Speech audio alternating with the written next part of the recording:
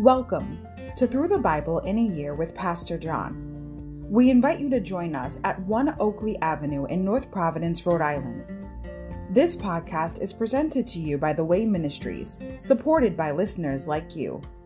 For donations, live videos, podcasts, and more, please visit www.thewayministriesri.org. Thank you and have a great day.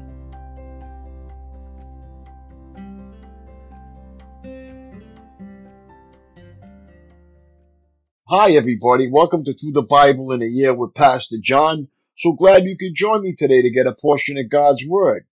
Today we're going to begin with day 167, June 15th, Psalm 73 to 77. People's questions, God's answers. Overview. Book 3 of Psalms begins with several selections by Asaph, a gifted musician appointed in David's day to be part of the Levitical choir. Asaph first probes the hard question Why do the wicked flourish? Psalm 73. While Israel flounders. 74. By focusing on God's justice, 75 76, and God's faithfulness to his people, 77. Asaph discovers a solid foundation of hope, even as the wicked seem to get away with murder. Psalm 73. Prosperity of the evil. Psalm 74, plight of the righteous, questions. Psalm 75 and 76, praise for God's justice. Psalm 77, promise of God's favor, answers. Insight.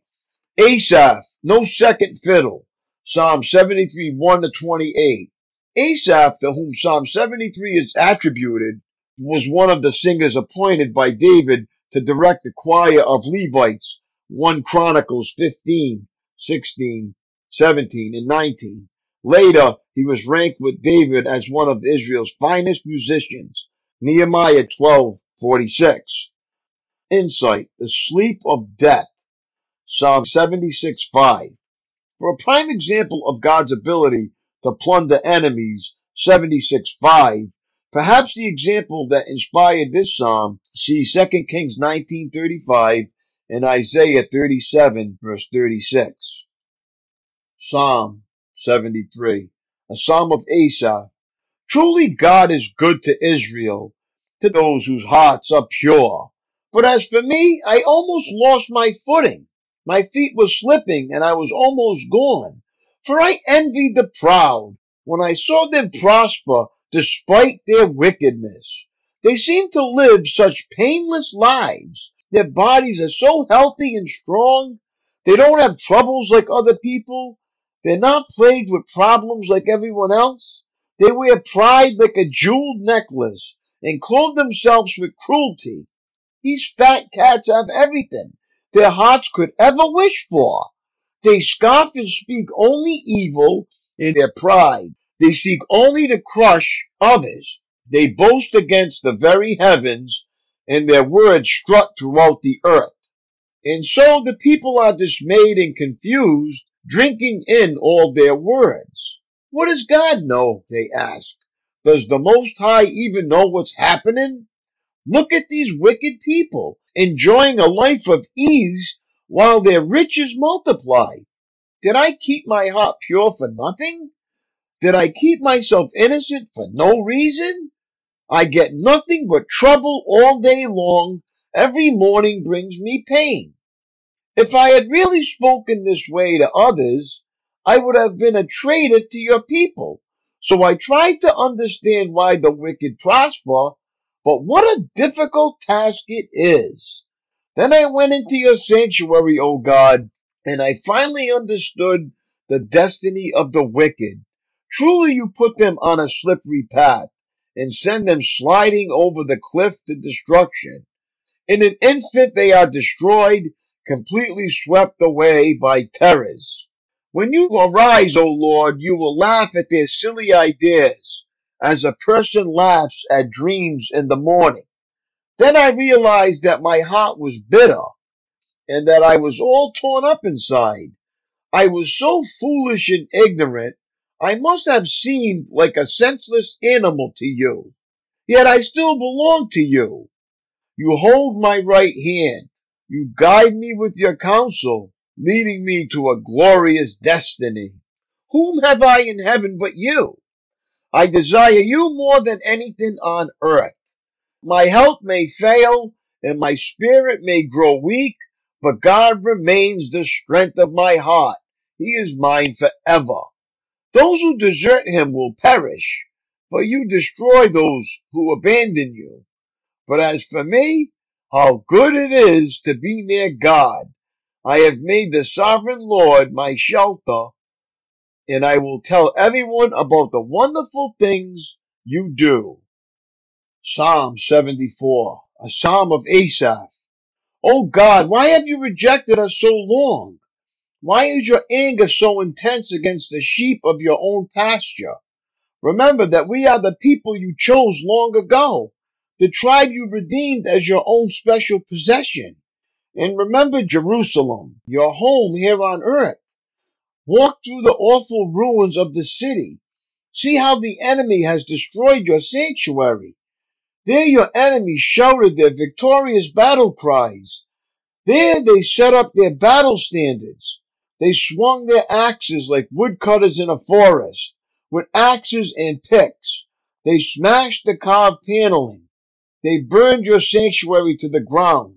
They defiled the place that bears your name.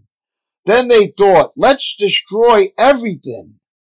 So they burned down all the places where God was worshipped.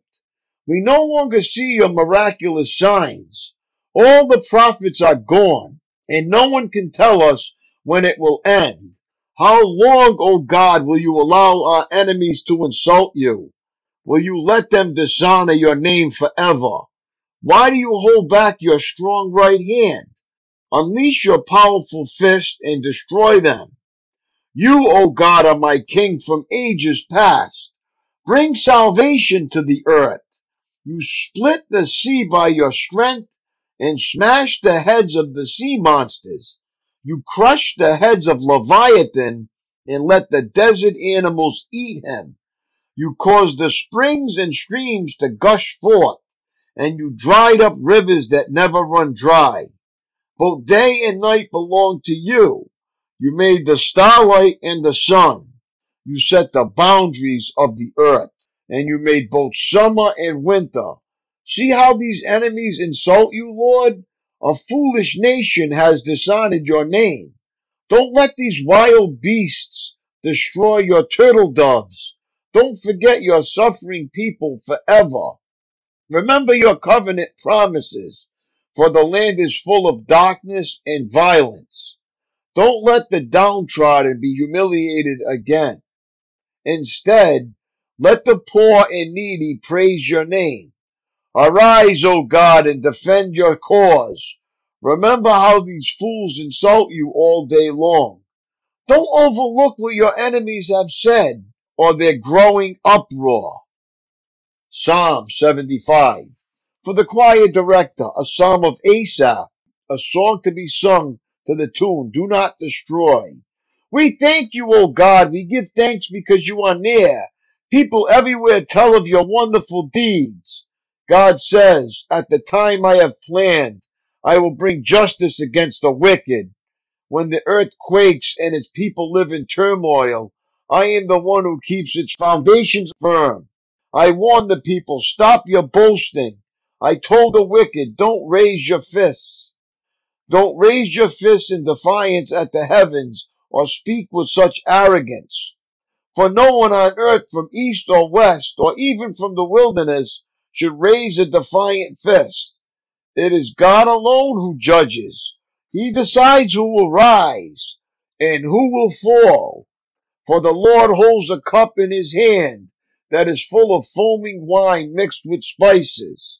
He pours out the wine in judgment, and all the wicked must drink it, draining it to the dregs.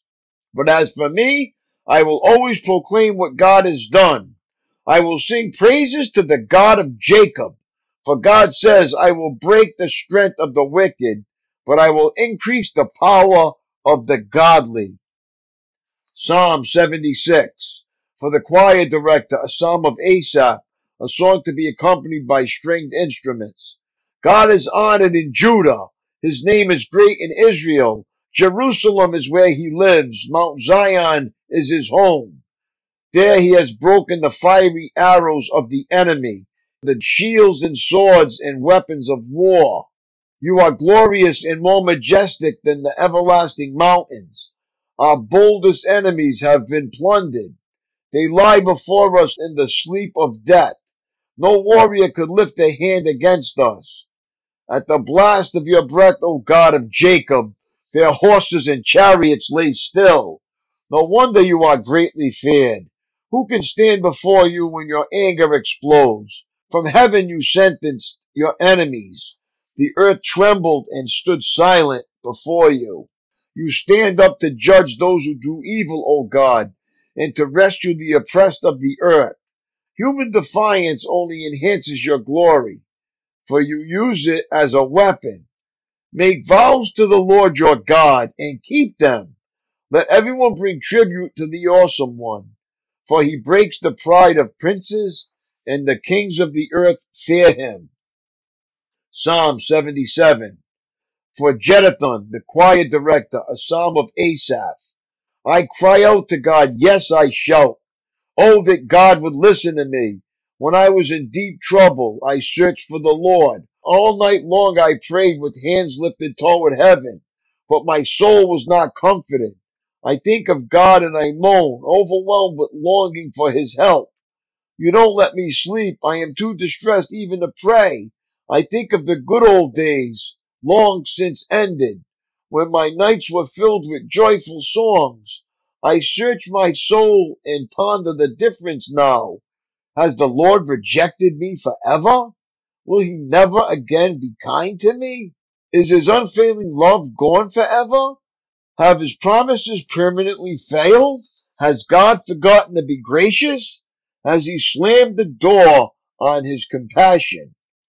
And I said, This is my fate. The Most High has turned his hand against me. But then I recall all you have done, O Lord. I remember your wonderful deeds of long ago. They are constantly in my thoughts. I cannot stop thinking about your mighty works. O God, your ways are holy. Is there any God as mighty as you? You are the God of great wonders. You demonstrate your awesome power among the nations. By your strong arm you redeemed your people, the descendants of Jacob and Joseph. When the Red Sea saw you, O God, its waters looked and trembled. The sea quaked to its very depths. The clouds poured down rain. The thunder rumbled in the sky. Your arrows of lightning flashed. Your thunder roared from the whirlwind. The lightning lit up the world. The earth trembled and shook. Your road led through the sea. Your pathway through the mighty waters. A pathway no one knew was there. You led your people along that road like a flock of sheep, with Moses and Aaron as their shepherds. My daily walk. A sheriff was asked by a local resident, Do you think you will ever eliminate crime? The sheriff wisely replied, I'm not naive enough to think that crime can ever be eliminated. There were prostitutes and pickpockets in the days of Christ. There will always be some who submit to the soft, glittery pleasures of the world. His words ring true in a day when, according to FBI statistics, one serious crime is committed in this country every two seconds, one robbery every 10 seconds, one murder every 5.8 minutes. Asaph, in observing the criminal element in his day, was honest enough to ask God some searching questions. Is godliness really worth the struggle? 73, 13 to 14. Implied in those words is another protest. God, do you really care? If you've asked the same questions, you need what Asaph found perspective. As he drew close to God, 73:17, the psalmist saw that the wicked would be repaid for their sinfulness and the faithful will receive a great reward, all in God's perfect timing. If you don't want the fruits of sin in your life, stay out of sin's orchard. That's so true. That's all for today, my friends. It was great reading along with you. Have a great day and God bless. And I will see you tomorrow. Lord willing. Peace.